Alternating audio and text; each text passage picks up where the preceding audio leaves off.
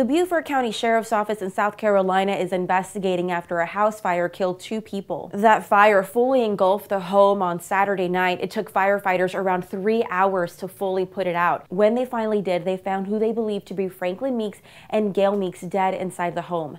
The fire marshal and the SBI are investigating the fire. At this point, they don't believe any foul play was involved. At the CBS 17 digital desk, I'm Judith Ratana.